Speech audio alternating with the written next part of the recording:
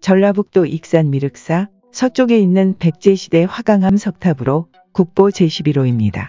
639년 조성된 높이 14.24m의 탑으로 한국의 현존 석탑 중 건리변대가 가장 오래되고 규모도 가장 큰 최대의 석탑입니다. 미륵사지 석탑은 거의 전면이 붕괴되어 동북면한 귀퉁이 6층까지만 남아있으나 본래는 평면 방형 탑으로서 9층으로 추정된다고 합니다. 이 석탑은 각 부분이 작은 석재로 구성되었으며 1층 내부에 있는 십자형 공간과 심주, 천장의 구조 등은 한국 석탑의 시원 양식으로서 목탑이 석탑으로 이행하는 과정의 구조를 보여주는 중요한 탑입니다. 미륵사는 백제 때 지은 호국 사찰로 삼국유사에 따르면 무왕 때 용화산 밑에 연못에 미륵삼존이 나타나자 이곳에 절을 세웠다고 합니다.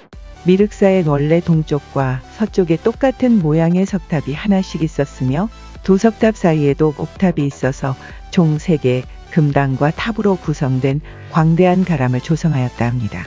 그러나 미륵사는 17세기경에 폐사되었고 서탑이었던 미륵사지 석탑과 미륵사지 단간지 주만이 남아있고 미륵사지 동탑의 경우 탑지만 남아있던 것을 미륵사지 서탑의 모양을 본따 1993년 복원 완료했는데 동탑이 서탑과 같은 모양이라는 근거가 없는 상태로 졸속 복원되어 비판받기도 했다 합니다.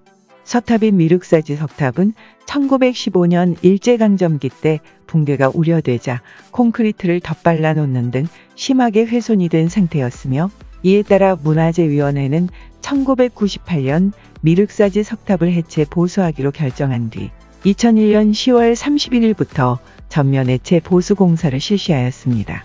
2009년 1월에는 보수 도중 석탑 심주석의 사리공 및 기단부에서 금제사리 호, 금제사리 봉연기 등 사리장 험구가 출토됐으며 이를 통해 639년 백제 왕후가 사리를 봉안해 왕실의 안녕을 기원하기 위해 미륵사지 석탑을 조성한 사실이 밝혀졌습니다. 미륵사지 석탑은 전면 해체를 결정한 지 20년 만에 실제로 해체 보수 작업을 시작한 지 17년 만인 2018년 6월 20일 수리가 완료됐습니다. 보수를 담당한 문화재청 국립문화재연구소는 추정에 의한 무리한 복원을 지향하기로 결정하고 9층으로 추정되던 석탑을 모두 재현하는 대신 남아있던 6층에서 보수를 마쳤다고 합니다.